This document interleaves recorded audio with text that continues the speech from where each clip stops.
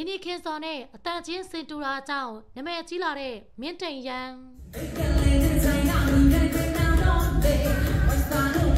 အားလုံးပဲမင်္ဂလာပါမမစ်နောင်ကနေကြိုဆိုလိုက်ပါတယ်လောကကြီးမှာလူတူမရှာနမဲတူမရှာသလိုအတန်တူလည်းမရှာပါဘူးအဲ့ဒီထဲမှာတော့အစိုးရနေနေခင်စော်နဲ့အတန်ချင်းစင်တူတဲ့မင်းတိန်ရန်လည်းပါဝင်ပါတယ်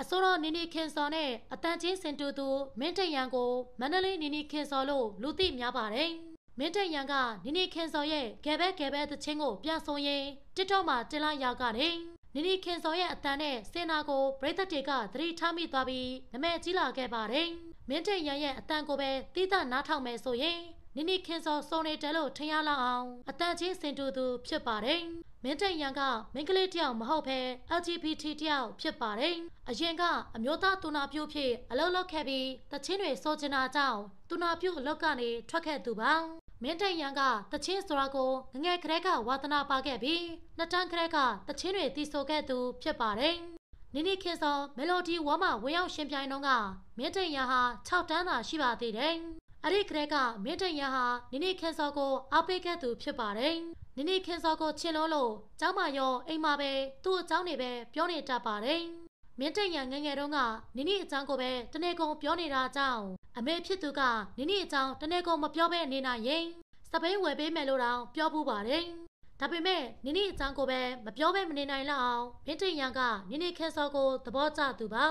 နိနိခင်းစောကိုအရန်ကြိုက်ပြီးနိနိကအများရန်စိုးမိုးထားတာကြောင့်အတန်ချင်းစင်တူသွားတယ်လို့မင်းတရကပြောပါတယ် မင်းတရန်ကမန္တလေးမှာ unplug ဆိုတော့ဖြစ်လောက်ကင်နေတဲ့သူပါတချင်းဆိုတိုင်းလဲနိနိခင်စောရဲ့တချင်းတွေပဲရွေးချယ်ပြီးဆိုတတ်ပါတယ်အဲဒါကြောင့်တချို့တွေကမန္တလေးမှာနိနိခင်စောလာဖြောပြင်းနေတာလားလို့တောင်ထင်ကြပါတယ်မင်းတရန်ကနိနိခင်စောရဲ့တချင်းတွေကိုခွင့်မတောင်းမဲ့တီးဆိုနေတာဖြစ်ပေမဲ့လေနိနိကသဘောထားကြည့်သူပါမင်းထရန်ကရန်ကုန်ကိုရောက်တဲ့အခါမှာလဲနိနိခင်စောနဲ့အတန်ချင်းစင်တူတဲ့အစိုးရဆိုပြီးတော့အားပေးကြပါတယ် မင်းထရန်ကနိနိခင်စောကြောင့်လူသိများလာသူဖြစ်လို့နိနိရဲ့ကျေးဇူးကိုအများအားအောက်မေ့နေသူပါ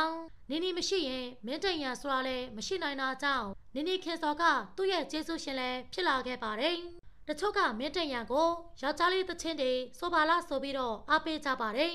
နိနီခင်ဆောင်ရဲ့အတန်ကိုလိုက်ထုတ်ပြီးတော့နမဲကြီးလာတယ်ဆိုပြီးဝက်ဖန်သူတွေလည်းရှိပါတယ်။မင်းတိန်ရန်ကတော့နိနီရဲ့တချင်းနေနဲ့ပဲသူ့အတန်ကလိုက်ဖတ်တယ်လို့ထင်နေခဲ့တာပါ။ မင်းတိန်ရန်ကနောက်ပိုင်းမှာတော့သူ့ရဲ့ကိုပိုင်တချင်းတွေလည်းထွက်ရှိလာပါတယ်။ဒီတချင်းကိုတော့မင်းတိန်ရန်ကပင်ကိုစတိုင်နဲ့ပဲတီးဆိုထားပါတယ်။တရေကတော့ထက်ရှံမှုဖြစ်ပြီးတချင်းနာမည်ကတော့စိတ်ကြီးပဲဖြစ်ပါတယ်။မင်းတိန်ရန်ရဲ့အတန်းနဲ့နိနိခင်စောရဲ့အတန်းစင်တူရလားဆိုတာပရိသတ်တို့ရဲ့အမြင်ကိုလည်းပြောပြခဲ့ပါအောင်နော်ကြည့်ရှုပေးခဲ့ကြတဲ့အတွက်အားလုံးကိုကျေးဇူးတင်ပါတယ်နောက်ထပ်နောက်ထပ် celebrity သတင်းများအတွက် ကျမတို့ရဲ့ page ကို like and follow လေးလုပ်ခဲ့ကြပါအောင်နော်နေ့ရက်တိုင်းအတွက်ပျော်ရွှင်ပါစေ